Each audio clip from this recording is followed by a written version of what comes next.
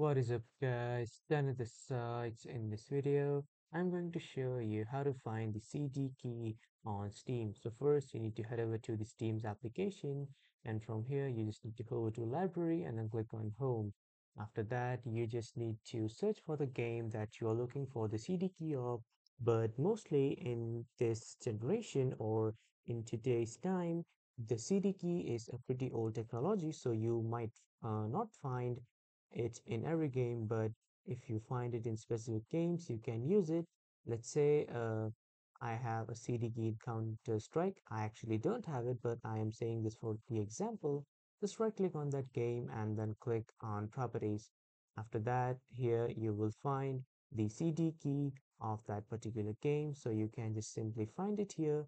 And then if the CD key has been found, uh, you can just simply copy and paste it wherever you'd like. So that was all for this video everyone. Thank you for watching.